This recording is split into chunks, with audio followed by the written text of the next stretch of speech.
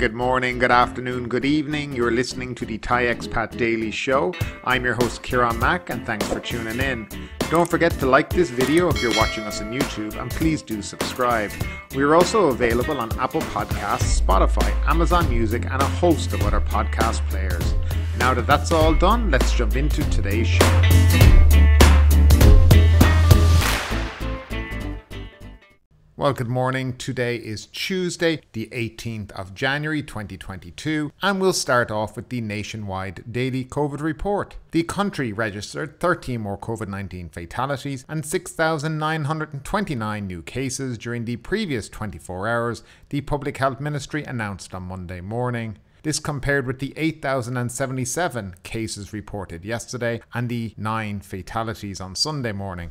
Apisamai Sirisang, assistant spokesperson for the Center for COVID 19 Situation Administration, said in the afternoon briefing that the 13 new fatalities were between the ages of 69 and 92. Now, as I said, we had 6,929 confirmed cases, with 1,740 probable cases by way of ATK testing.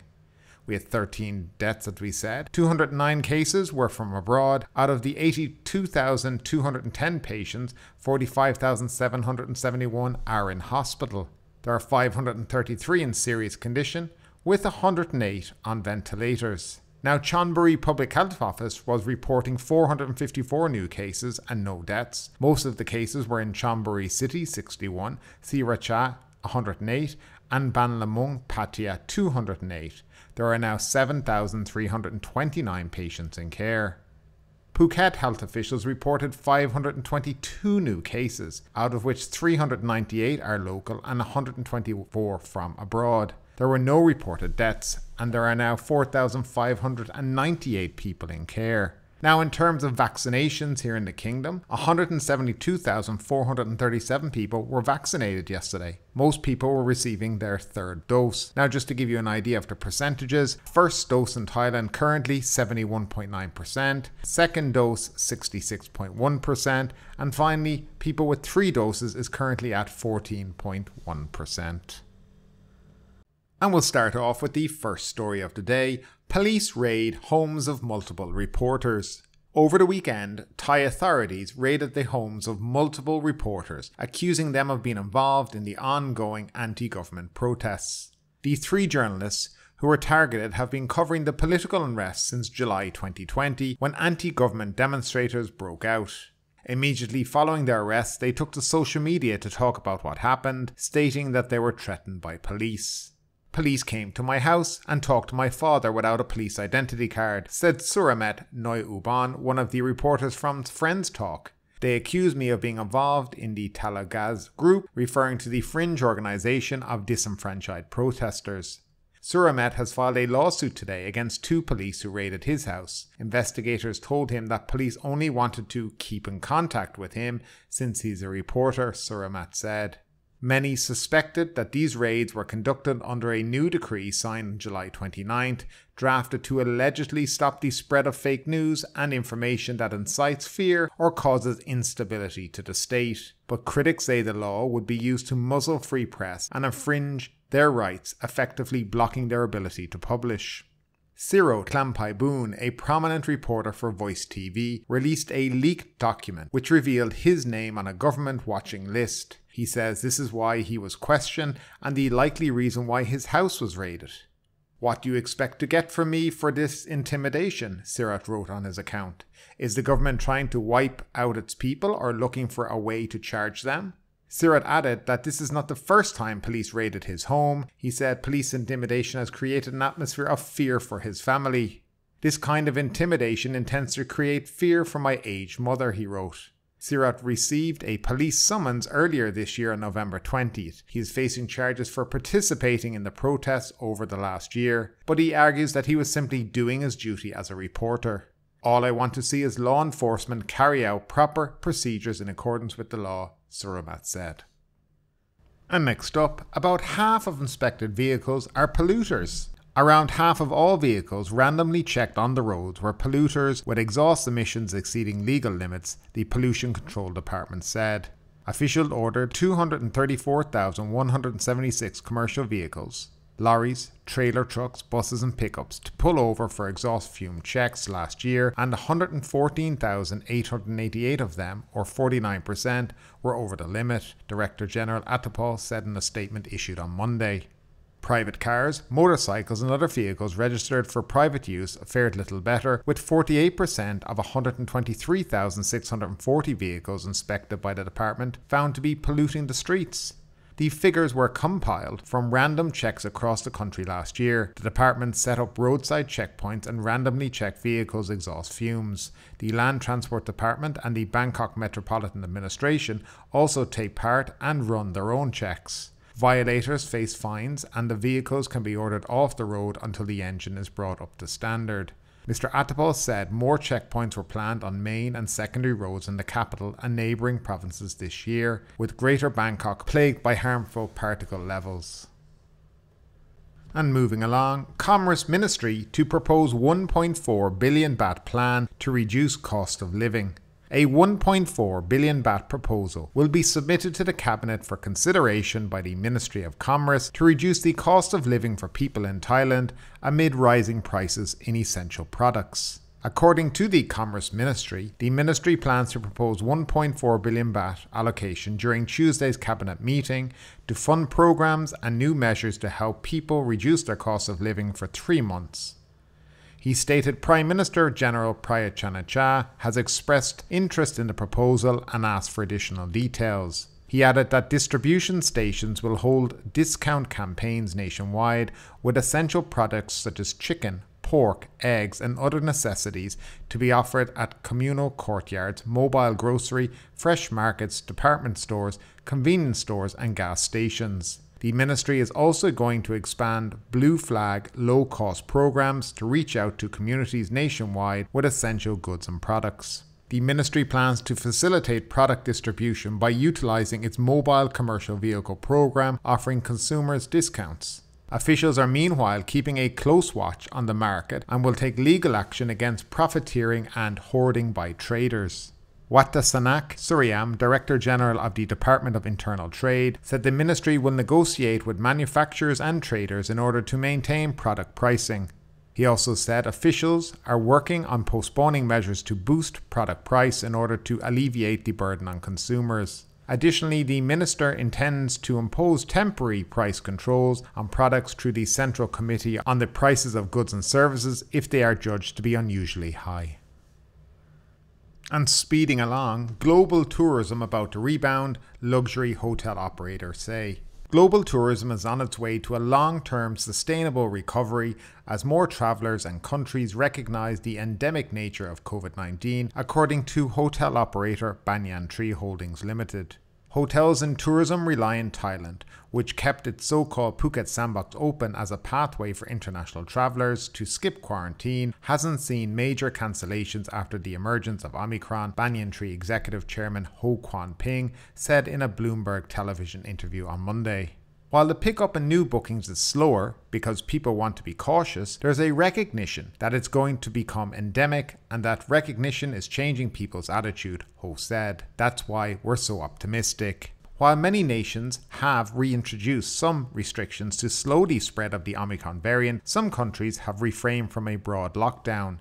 Thailand widened its sandbox tourism program to three more provinces. Krabi, Phang-nga, and Surat Thani last week after suspending quarantine free visas for vaccinated visitors, with Indonesia, while Indonesia has kept Bali open to international arrivals with some curbs as well. The point is whether Thailand and the world is definitely back for a rebound. We've seen dead cat rebounds in the past, with Omicron replacing Delta, Ho said.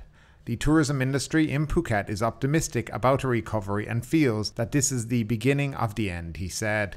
Singapore based Banyan Tree launched five new brands over the past two years, including in China and Thailand, betting on a tourism rebound, Ho said.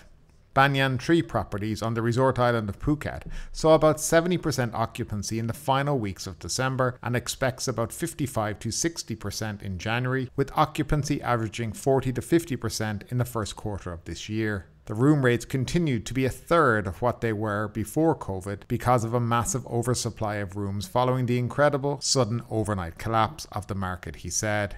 It's going to take a long time for the full recovery The main question is Are we really on the path for a long term sustainable recovery? And the indication is pretty much yes, Ho said. So we will talk about this story after we do the next story. Government mulls resuming quarantine free travel programme. The government may revive the quarantine free visa program for vaccinated travellers from abroad less than a month after suspending the waiver as fears of a new wave of Omicron driven COVID cases recede. Officials will propose lifting the suspension of the Test and Go program to the nation's virus task force led by Prime Minister Prayut Chan-o-cha Thursday, Deputy Prime Minister and Public Health Minister Anutin Charnvirakul said today. While the Omicron coronavirus variant is highly contagious, the outbreak is still under control in the kingdom due to the successful vaccination program and COVID containment measures still in force, Mr. Anutin said. Entertainment venues such as bars and pubs, which have been shut for almost a year, will remain closed because of the higher risk of spreading infection in those establishments, he said. The Thai baht rallied as much as 0.5% on expectations the return of foreign tourists may help the country reverse a current account deficit. The currency traded at 33.034 to a US dollar, the strongest level since November 23rd, according to data compiled by Bloomberg. While Thailand saw a jump in new cases after the Christmas and New Year celebrations, they are far below their peak during the Delta wave and have yet to overwhelm the nation's healthcare system. Mr. Anutin said authorities want to ensure that people are able to continue to conduct business and make a living. The government has experimented with several plans over the past two years to try revive the travel sector that used to contribute to about one fifth of the economy, with 40 million foreign tourists generating about 2 trillion baht in 2019. The Test and Go program which allowed vaccinated travellers from more than 60 countries to skip quarantine, helped attract about 350,000 visitors in just two months before it was suspended. Authorities last week widened the Phuket Sandbox tourism program to Krabi, Phang Nga, and Koh Samui to lure holidaymakers.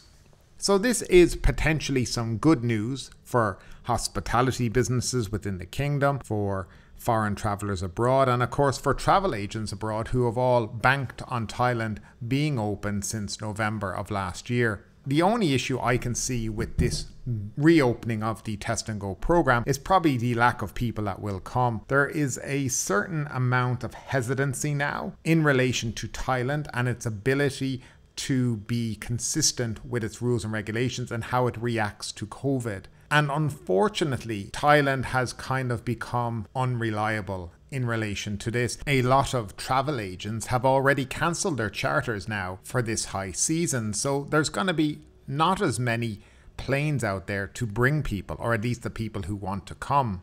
And then also there's the confidence in the tourism sector in Thailand and the government, and whether or not they have the ability to keep the country open, regardless of Omicron infections or not.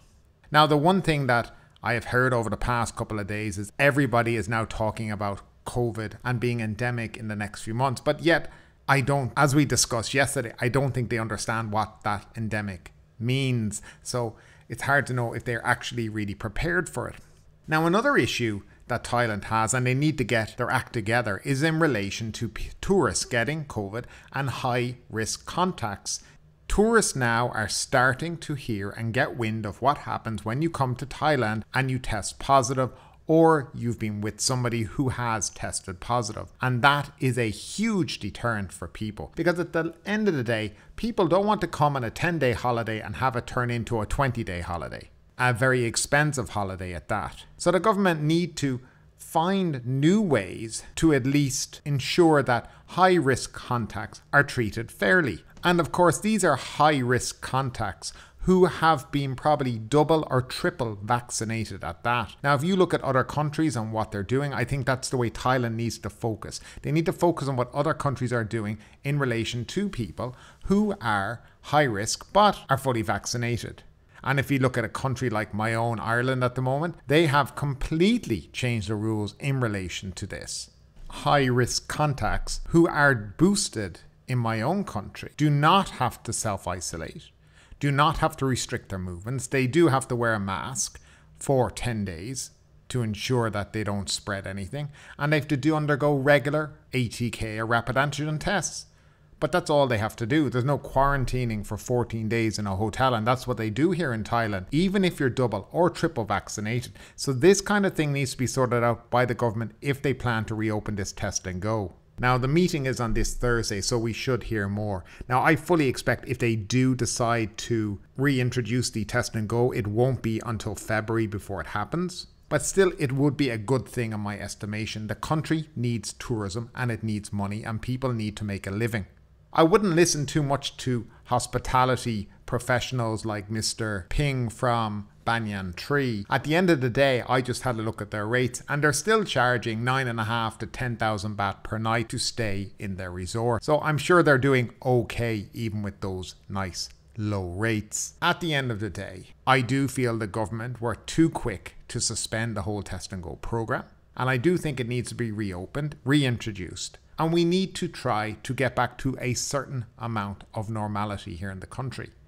But things such as how you treat COVID positive, fully boosted tourists and locals, how you treat high risk contacts, who are fully boosted and vaccinated, of course, needs to change. And that needs to be looked at. And a new approach needs to be taken to all of this in order for tourists to have some kind of confidence when they come to Thailand. Because a nice 10 day holiday can turn into a nice 14 or 20 day nightmare if things go wrong for you. Now, of course, tourists are taking a risk when they travel, and that has to be said too the rules and regulations are pretty much now on YouTube everywhere. I mean, there's so many stories in the press. So if you don't know at this point, well, I nearly say, well, you haven't been really keeping track of what's going on and you haven't done your research before you left. Traveling during a pandemic is risky. I think we all know that. And there is a certain amount of risk you must take if you're going to travel to a foreign country during this period. Now, I'd love to know what you guys think about all of this. Do you think the Test and Go program should be reintroduced?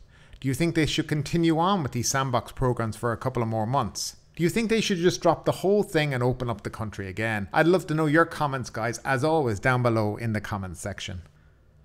And next up, historical wooden home burnt down in Hat Yai. Residents of a historical community fled for their lives as the fire destroyed six of their timber homes in Hat Yai Township on Monday.